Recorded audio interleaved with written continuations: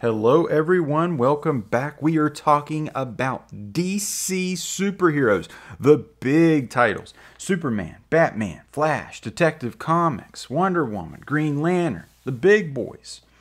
So, I kind of wanted to just give you guys some close up shots of these books. I know I've showed some of these books before on the channel, but I never have given you those close up 4K 1080p images y'all want and need. This is the first Silver Age appearance of the Penguin. You may be asking yourself, Sticky, why ain't you got that one slabbed?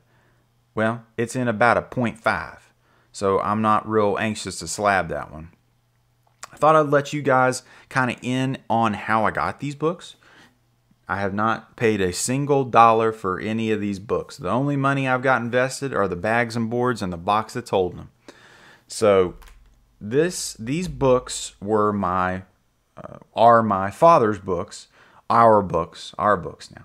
So these books, um, I got these at the start of uh, COVID, pretty much. So back 20, yeah, 2020, back in like April. Um, so we were, uh, I was with Dad, and I said, "Hey, Dad, you still you still got those old comic books?" He said, "Yeah, I got them. Some. I think I think they may be uh, in in my uh, storage building, storage shed." And I said, "Okay, hmm." I got to thinking about it, and I thought, "Oh my God, what if those are exposed to the elements? What if those are like not taken care of properly?" Well, we get in the car, we go over there, and we get there. We're trying the key. We don't have a key. The key don't work in the lock. So this is kind of like an outside an outdoor more storage building, kind of more like a garage. Like you see those like on Storage Wars. Well, I go and I'm like trying to get the key. We don't get it. We end up having to come back, cutting the lock off. I should have filmed all of this. Like this was back when I first started the channel. And really, this collection is what got me into comics for all intents and purposes. But uh, this is what started all this madness. But so we get we get we ended up getting the key uh, lock uh, the lock cut off. And they had to like take like a saw. It was crazy. It was like a whole thing. Man, I wish we could have filmed it. Anyway, we go in there. Dad's got these books in just like egg crates. Like back in the day, I guess they still do this now. I don't know like how eggs come like in these big crate, big boxes. And they're just laying on top of each other, just stacked, no bags, no boards, exposed to the elements and I start paging through and and like one of the first things that's like laying there is like first Batgirl and like first uh, Poison Ivy. I'm like freaking out. I'm like, what is in here? And like, there's a bunch of Nick Fury books and bunch of war books and and I'm like, okay, okay. And I just going through these, and I mean, we got major titles. I mean, we've got we got all the big stuff: Superman, Batman, all the all the all the keys no Marvel stuff. No Marvel stuff. We I might be retired. I might be retired if there was a big stack of Marvel books in there. but um, the DC books are here. And uh, man, just looking back about what if, like, I would have been one of the the best videos. It would have been one of the greatest videos I ever made. Looking back on it, but oh well. If I didn't find this collection, and I didn't end up going through them with my dad and didn't get going in, through them, you know, sorting them and bagging them and boarding them and looking up the values and looking up what they were, I don't think I would have ever gotten into all this. I would have never been making this video. I would have never been talking to you guys right now. It's crazy to think about that, but just one decision, just one decision one day saying, Hey, dad, you still got those old comic books in there? And it's just kind of led me down this path. It's crazy. And man, I'm glad I did it.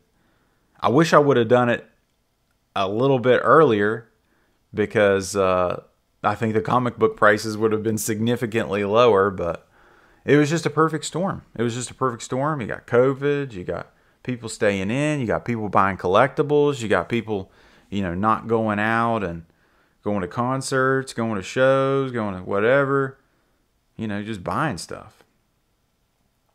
But uh, I got them now, and I'm sharing them with you guys. So we got those were my Superman issues. Some of those you can see don't even have covers. We had a 10 cent Detective Comics right here, and that thing is beat up.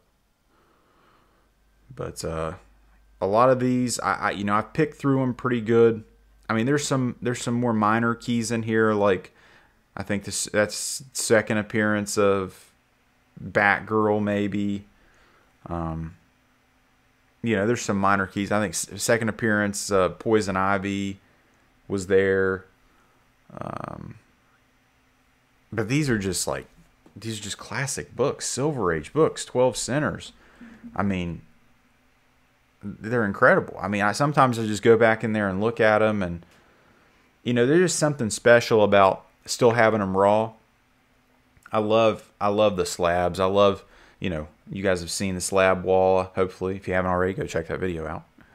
But uh, I, I love the I love the slabs because I love having something graded and knowing what you have and the increased value it comes with it and the display ability. It's just it's just cool. It's special. But to have them raw like this and just go through a short box, I don't know. There's just something pure about it. There's just something like this is how it's like meant to be. It's how it's supposed to be. These are just in poly. I mean, these are just in, you know, just regular bags. These aren't in mylar bags. I mean, I mean, there's his collection. I mean, there's thousands of books in that, and I, I, I mean, I can show you everything, but a lot of them are war books, and I don't know if a lot of people were interested in that. And, um, yeah, I just wanted to show you guys the close-ups. But I mean, to to put mylar in all the on all these, I mean, that would cost. I mean, it costs an arm and a leg, and is it really worth it? I mean, they're in a lot. They're protected a lot better than what they were but none of these books are like, I mean, some of these may be like fives, maybe sixes. Because we got we got one of those back, uh, second appearance, second time uh, Flash and Superman race. Um, I love these Green Lantern books, by the way. I, man, I am. That may be the next hill I want to climb. That may be the next battle I want to fight. Is putting a Green Lantern run together. Because man, that that's probably I mean, I got so many of the Batman keys now. Man, putting the Green Lantern together, that might be what I need to do. But um coming up here is Hawkman. That that's the one that made me sick. It's like we were all around uh I think it's like what is it, number four versus Zatanna? Oh man. I was devastated. He kept bringing books out. Like uh here just recently because he like moved and like built a house or whatever and like he came he came back and he's like i got more comics and i'm like you're kidding me and uh, we went over there and he had another stack he had first parasite first appearance of parasite um, and then he had uh, first um, first catwoman silver age i'm like you gotta be kidding me we ended up slabbing that one cleaning it pressing it got a 4.0 on it i was too happy love that cover it's on, it's on the wall now but um, it's crazy. I mean, so fortunate, so fortunate to luck into this. But I, I mean, I think that's a that's a pretty. I mean, that's not an uncommon story. I mean, you you you you, you fall into a, a bunch of books from a relative or a parent or whatever the case, and you know, it kind of starts your journey. I hope you guys enjoyed this, me rattling on my little story. Hope you guys enjoy, enjoyed looking at the books. If any point in time you like this video, give it a thumbs up. And if you like this video, subscribe for more. Thank you guys so much for watching. Take care.